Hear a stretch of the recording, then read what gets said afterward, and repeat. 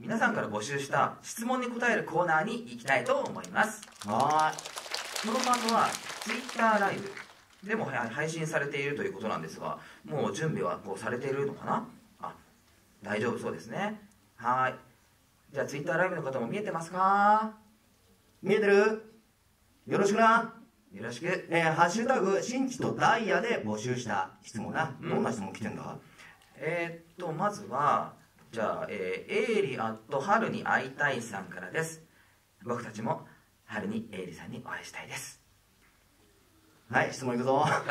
えー、シンジ君の金髪は事前に予告されてからセットに挑んだのでしょうか？髪をバッサリ切って金髪になった自分の姿を見て最初にどう思いましたか？だって、シンジどうなの？ああうーんそうだな。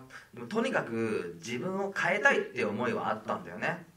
うんうんそれでお願いしたんだけど、あそれで最初に思ったのはほらあのブリーチをして染めて、うん。まだこう髪が濡れてる時ってこう少し色が暗い色というか落ち着いた色に見えてるじゃない？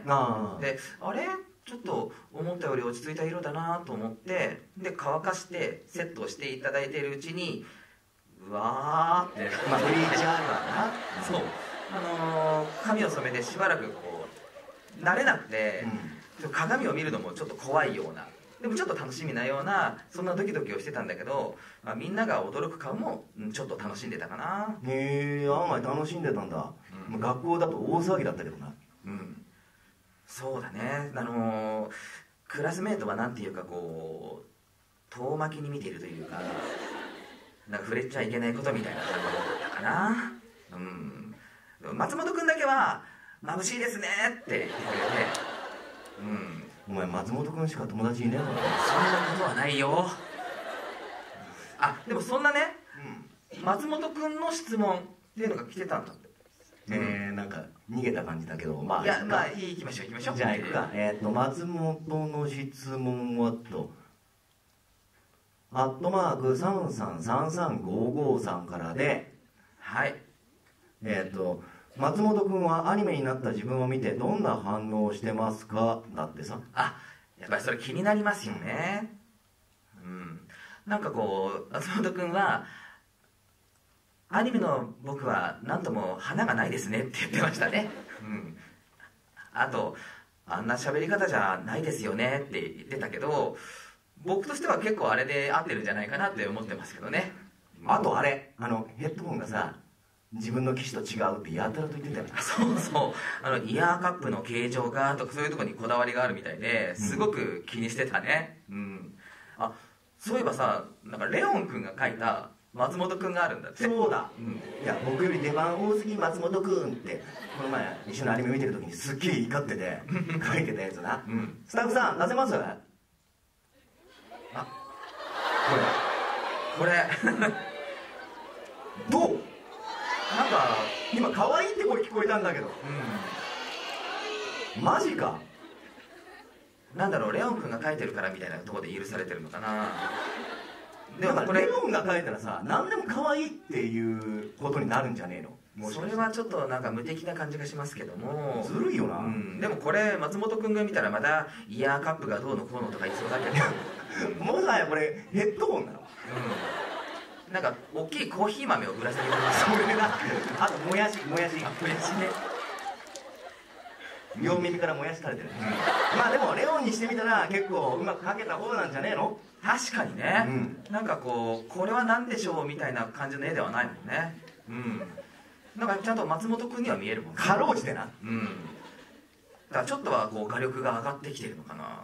いやあいつの絵の場合はもはやうまいとか下手とかじゃねえから。あ確かに。うん。うん、なんていうの？印象派っつうかなんか。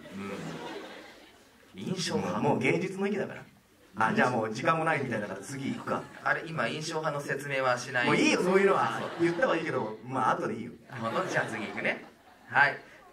じゃあ次は、えー、ひかりんごに2月9日参加決定さんからです。お？ってことは今日会場にいる？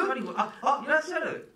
今ありがとうござい目の前でさあ何なんかなんかなってるけど。そんなちょっとね中継。さすがにね文字までは見えない。声で読んでくんねえか。あなんかあありがとうございます。なんでシンジだ。けなんだ。よじゃあ僕が読みますね。はい。で2月はえバレンタインの時期ですね。男性から女性に送る逆チョコなんかもあるみたいですがもし2人が女性に逆チョコを送るとしたらどんなものを送りますか？チョコ以外でも丸と。うんなるほど。あこういうのははいシンジえなんで？だってほら質問者も目の前で、うん、いるわけだし。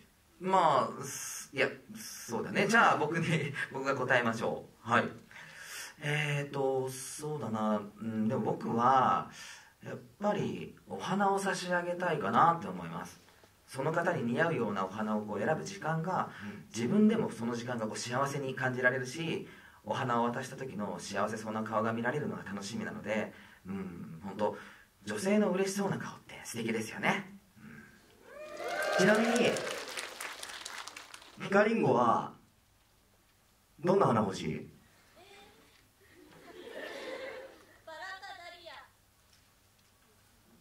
バラかダリア。じゃあシンジどっち送る？でやっぱりじゃあここはダリアにさせてもらおうかな。まあシンジらしいよなそういうところ。あそういえばさ昔ラジオでこの話してさ、う確かレイジがさお花ってもらって困るプレゼントの定番だってさあとマグカップとか。そうだね。あったね、まあ確かにこうシチュエーションにもよるかもね。あと人にもよるよな。そうそれにもよる、そうでもさこう別れ際にサプライズでとかだったらどいやちょっと待って待って待って。え？待ち合わせしてさデートしてで別れ際までそのサプライズの花束どこに隠しておくんだあそっか。でそれはじゃあちょっとえっ、と考えておきましょう、うん、じゃあダイヤ君は？え俺？うん。え俺も答えていいの？これ。もちろんだよ。ああそう。えっ、といや前にも答えたことあるんだけどあなんかほちっちゃい拍手が。やるんだからもう全力でやってくれ。というわけでまあまあ前にも答えたことあるんだけどプレゼントするんだったらやっぱり自分が作った手作りのアクセサリーとかかな。うん。それはねちょっとかっこいいな。いいだろう。ん。う欲しいマジか。じゃあ今日この会場にいるね400人くらいの方がいらっしゃるんですよじゃあ400 400人ぐらいいるらしい400個。うん。なんかあどえ？差し上とげるわ400個全部作れってこと？うん。大学ならできそうな気がする。すげえ。まあお前そういうとこあるよな。無責任な発言つうか。そうかなうん。まあまあ女性のものは作ったことがないけどまあなんとかなんだろう400個はさすがに無理だけどでもバレンタインだから甘いもんならマカロンとかがいいんだろ？なんかあそうだサインにあの焼肉を一緒に食べに行くとかでどう？あなんかすごいそれもいい感じだね。あじゃあちょっとじゃあダイヤ君と焼肉を食べく食べに行くのいいよっていう方はじゃあ赤いペンライトをちょっとファッと上げてみてもらえますか？どうぞ。ああ結構いる。よーし。じゃあ焼肉でいいじゃん一番簡単なこう 結論というかでもダイヤ君もそれでねこう一緒に食べ俺も幸せな気分になれるし。あじゃあダイヤ君のすごい美味しそうな顔も見れるっていうのは嬉しいかもしれないね。なんだろう別に。いつだって楽しければ幸せな顔してるよ。そうだけどでも特別な顔じゃない？美味しいお肉を食べてファーってなってたらね。なんかそれ改めて言われると恥ずかしいからやめよう。じゃあ次な。はい。あ次。えー、ビールを含んで食べる前に飲むさんから。えーはい。またブルーブラッドで歌う機会があれば次はどんなジャンルの曲を歌ってみたいですか？ああなるほど。シンジなんかある？そうですね。僕は、うん。あのほらダイヤ君のほレイズやフラッグみたいなあ結構縦乗りガンガンみたいなああいう曲をやってみたいな。ああいう曲少ないもんな。うん。あのラ夏のライブでやってた時の時うんうん。に、拳を上げて「おいおい!」みたいなああいうのをちょっと一緒にやりたいなって。えマジで？いや本当に本当に。ブルーブラッドでそうだしうん。なんかなんかできるんじゃないかなって思う。またなんかテンダーブルーの時みたいに怖くなんじゃねえの？お前。そんなことはないよ。僕も少しは強くなってるから。うん。いいと思うな。だよ本当に、うん。そう。うん大学君いや俺は前にも言ったかもしれないけどその真珠がよく言ってる役作りみたいな、うん。ほら歌詞の世界の登場人物になりきるみたいなのやってみたいよな。なんどういうジャンルっていうよりもなんかそっちかなああそういう感じなんだ。ほら俺のソロってザ俺みたいな感じじゃん。まあいい意味でもね。良くも悪くもね、うん。まあだからかもまあ知んないけどまあ例えばそのレイジの「マイディア」みたいなものも歌ってみたいかなって感じ。ああいいと思う。なんか大学君もやっぱ新しいことをやっていきたいって思ってるところは僕と一緒だよね。そうそうそうそう、ん。さあこんな感じで以上で質問コーナー「ハッシュタグ新地とダイヤ」はここで終了となります。ええもう終わっちゃうの？そうなんです。時間がね結構ね喋っていい反応だなお前ら。本当いや今ねすごいたくさん喋りたいんだけど、うん。なんか結構ねやっぱり限られた時間の中だからそうなんだよ。時間が短いんだよ。そう。ついついこう巻きが出てしまってるとかそういうところがあるのであのねはい。質問をいただいた方ここまで、ね、答えられなかった皆さんごめんなさいなんですが本当にありがとうございました。ありがとうございました。はそして、配信でご覧になっている皆様とはここでお別れとなってしまいます。そうなんだよ。次はねぜひライブでお会いしましょう。ライブ会場で会おうぜみんな。